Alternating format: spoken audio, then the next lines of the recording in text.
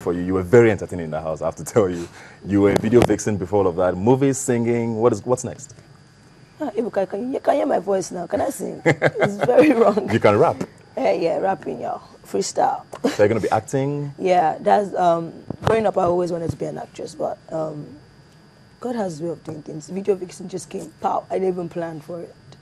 And yeah, I'm going to acting and before I left I had this show called Beverly Says. Okay. Um, a reality show. Yes. So you wanna I'll, work on that? I'll push it, go back to school. I have so many things I want to work on. I like being busy. Yeah. Go back to school. Very nice. Thank you very much, Beverly. Thank you very much for being here. Always good to see you. Very, very pretty in person, actually. Thank you. Yeah, thank you I'm very much.